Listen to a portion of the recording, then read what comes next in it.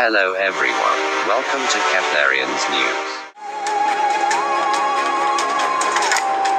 So last Saturday we all saw the character reveal of Horror Brawl. We saw some new game mechanics and items. What do we know so far? In the first trailer we saw Jay picking up a pink crystal.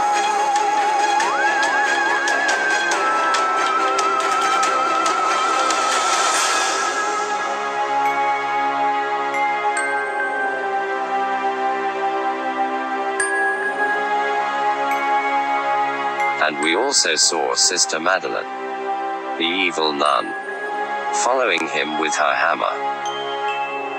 Now we have also seen Rebecca attacking evil nun with an apple. So maybe this is a cooperative game to beat Sister Madeline. But wait, Charlie didn't look like an ally at all. He was eating an apple, maybe to heal, and he had a gun with him.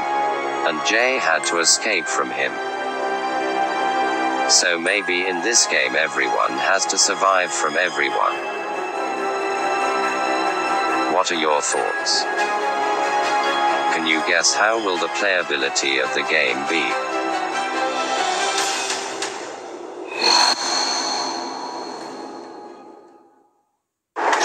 It seems like you all enjoyed the Ice Scream 4 trailer. But are you ready to see a little bit more? These are some of the places you will have to visit in order to escape from Rod's factory. What do you think these places are?